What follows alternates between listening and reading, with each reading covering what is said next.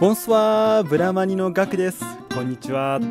えー、皆様いかがお過ごしでしょうか、えー、今日はですね、えー、ゲルダさんの開封レポ第2弾。でまた夜の開封レポをやらせていただいております、え実はですねパリはですね、え昨日から大雪になっておりまして大変なことになっております、え今年ですねパリすごく暖冬でですね過ごしやすい冬になるかなと思っていたのですがここに来て大雪でもう交通がもう乱れに乱れてバスが止まったりですねメトロが遅れたりしているようです。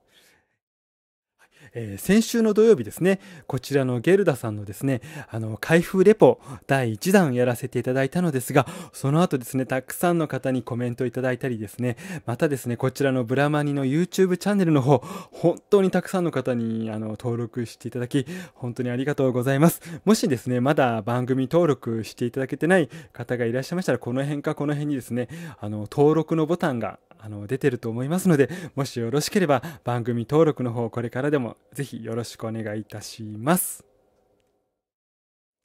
えー、またですね、あのー、今までと違ったあの白バッグではないあのドールバッグであの開封レポいかがだったですかとあの皆さんにあの聞いたのですが、その際にですね、あの、アップルブロッサムさんですとか、ノランさん、ミノコさん、えー、ココボンボンパボンさんなんかがもう本当に丁寧にですね、あの、白バックじゃなくても大丈夫ですよって、あの、コメントいただいて、本当にあの、嬉しく思っております。ありがとうございました。えー、あとですね、あのー、スーゲンミニさんかな、スージェンミニさんとおっしゃるのかな、ですとかね、あのー、エンコゴーさんなんかが、あのー、ルームツアー的な、あの、ブライスダノの紹介、ぜひ、あのしてくださいと、あの、リクエストをいただいたので、あの時間があればですね、その辺のルームツアーですとかね、あと、ブライスのあの、この裏の方に見えてる、ブライスの棚なんかももうちょっと詳しく、あの、こちらの YouTube チャンネルでご紹介できればと思っております。もですね、実はですね、こちらの画面の反対側にはですね、まだたくさんのですね、あのー、段ボールが残ってるんですよ。実は去年の6月にですね、あのー、パリの郊外の家からですね、パリの中のあの、ちっちゃなアパートに引っ越してしまいましてですね、まだね、実はですね、家の中がね、あの、ごっちゃごちゃでまだ引っ越しの片付けが済んでないんですよ。もう6月からなのでね、すでにもう6ヶ月以上経ってるんですが、まだまだ本当にもう、あのー、ごちゃごちゃでね、それが片付き次第、ルームツアーの方もやらせていただければと思っておりますので、もう少々お待ちください。えー、またですね、あの、ラインコットンさんとおっしゃるのかな、リーンコットンさんかな、からですね、あの、ガクさんは顔出し、顔出しですね。顔出ししないのですか？と、あの、コメントいただいたのですが、えー、顔出しね、本当にあの、YouTube を始めた、あの、ものにとっては、えー、本当に、するかしないか、本当に大きな問題でですね、あの、初めからね、あの、顔出ししてる方であれば、あの、全然問題ないんですが、僕みたいにね、例えば、あの、ドールだけですとかね、あの、手だけ映ってるような、あの、動画の方は、本当に顔出し、かなり勇気がいると思うんですよ。えー、なのでね、あの、もう少しですね、自分もで、まあ、顔出ししてもいいんですけどね、こんなね、あの、おじいさんというか、おじいさんでよければ、あの、のね、いつでも顔出ししますのでね、もしその辺もね、顔出しのことについて皆さん何か、あの、意見、ご感想ですとかね、あと例えば他の YouTuber の方で何か僕に、あの、助言なんかしてくださる方があれば、ぜひ、あの、顔出しについていろいろコメントいただければ、あの、助かります。その辺よろしくお願いいたします。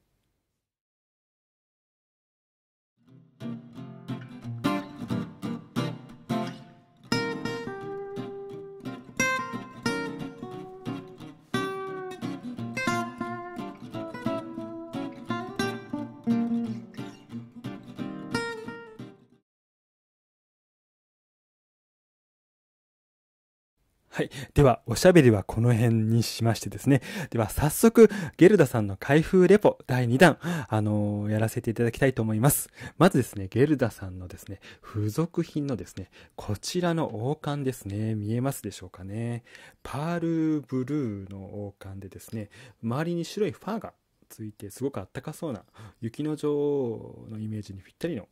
あの、王冠になっておりますね。このように、あの、紙はあの、プラスチックの白いコームで留める感じになっております。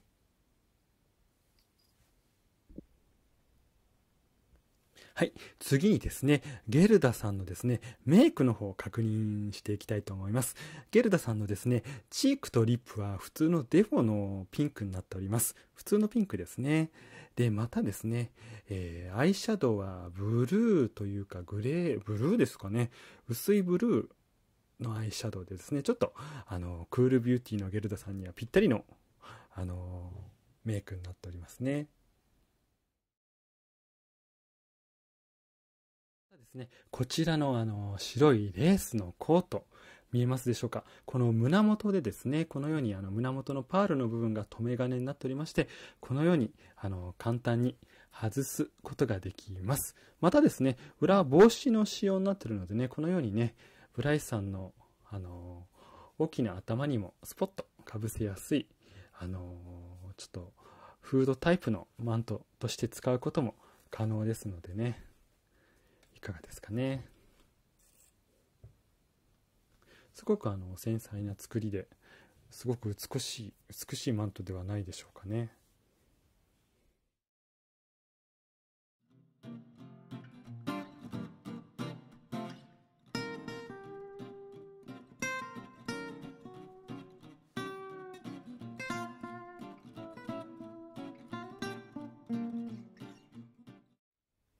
また、えー、ゲルダさんのですね、こちらのドレスなんですが、えー、肩部分がですね、若干透ける素材で切り替わっておりまして、えー、あの、胸元にはですね、このようにちょっと、あの、白いビーズとブルーのビーズがあしらわれております。かなり凝った作りですね。またですね、このフリースのような白い厚手の生地にですね、あの、雪の、あの、なんていうんですかね、紋章？雪の違いますが、雪の結晶？雪の結晶のですね、あの、刺繍が水色で入っております。またですね、このドレスの下地はこのようにですね、水色のチュール、チュールっていうんですかね、水色の、あの、あの、スカートの裏地もついております。またですね、こちら、そう、こちらですね、ソックス見えますでしょうかね。ソックスなんですが、ソックスはですね、このシルバーのラメですね、色移り防止にも本当に最適なシルバーの白っぽいラメのソックス、タイツですね。タイツに、えー、ブーツが白いですね、あの、ハイブーツですね。ちょっと長めのブーツになっております。で、裏側はこのように水色のペイントがされておりますね。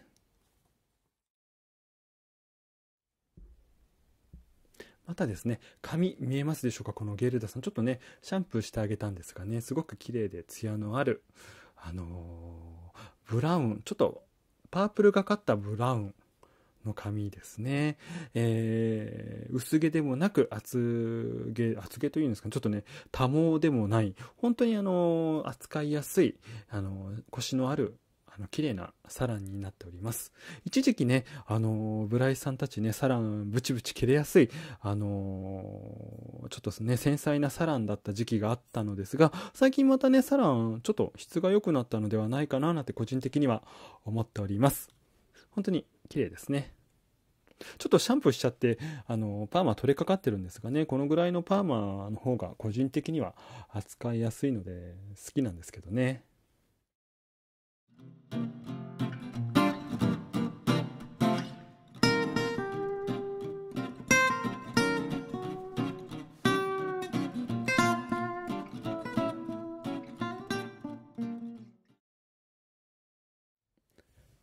はい。ではですね、早速、アイチェンジの方、していきたいと思います。こちらが正面のですね、あの、スペシャルカラーの薄いブルーになっておりますね。で、えー、こちらが左目がデフォのブルーですね。綺麗ですね。で、あ、紐が取れたあ、紐が、ああの、プルリング取れちゃいましたね。あ、珍しいですね。こんなこともあるなんてですね。えー、まあ、これを、まあ、これにまあ、こう続けていきますね。で、もう一つですね。えー、こちらがもう一つの正面の方。ピンク。デフォのピンクのようなんですが、若干ちょっと赤めのピンク。赤めのピンクですね。で、最後に、えー、右目がグリーン、デフォのグリーンですね。すごく綺麗なグリーンになっております。えー、でもですね、ちょっとね、今、撮影中にプルリングが取れてしまって、ちょっと今ショックなんですけどね、急いで、あの、撮影が終わったら直してあげようと思っております。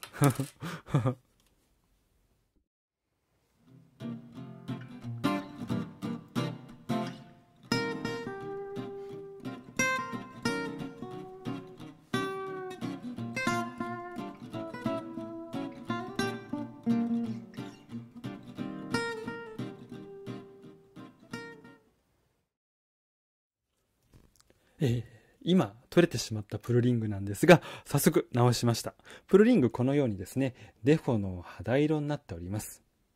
デフォの肌色ですね。まあ、取れたらですね、すぐ結び直して、ちょこちょ、ちょこちょことその、結び目にあの、瞬間接着剤なんか、あの、つけていただければ、また取りにくくなりますのでね、お試しください。またですね、えー、こちらですね、ゲルドさんの、スタンドですね。スタンドは、えー、パールホワイトの支柱がシルバーになっております。はい、こんな感じです。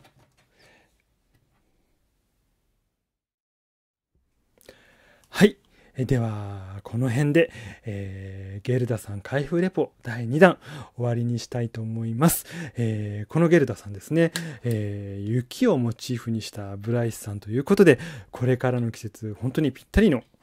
一体ではないでしょうか。紙質もですね、あの、先に言いましたように、すごくあの、扱いやすい、あの、しっかりとしたサランでね、一時期あの、細くて切れやすかった頃が続いた頃のね、サランではなく、本当に腰のあるしっかりとしたサランですしね、薄毛でもなく、えー、多すぎもなく、扱いやすいですしね、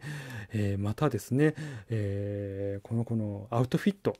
白なのでね色移りしないですからね。夏でもあのいちいちお着替えさせないで一年中このアウトフィットであの過ごすことも可能ではないでしょうか。ちょっとね夏暑いかもしれないんですけどね、えー、やはり色移りしないということはあのすごくそれだけでもあの好印象ですしね。またですね自分はですねできればですねあのブライス棚に飾っている時にですねデフォのオフで飾りたいんですよ。やはりデフォがね一番似合うんではないかなと個人的に思ってますしね。デフォで飾るとすごくあの華やかで、えー、見た目にもいいですしね。でもただ色移りがちょちょっとね心配でデフォを着せずっと着せておくのはちょっと心配なんですけどね。この子だったら本当に安心してデフォのまんま保管できます。またですね、えー、この子まだ普通にですね、ブライスの公式ショップさんですとかね、えー、あのトップショップさん、またはブライスショップさんなんかに普通にまだね、売っておりますのでね、もしお迎えお迎えを考えていらっしゃる方が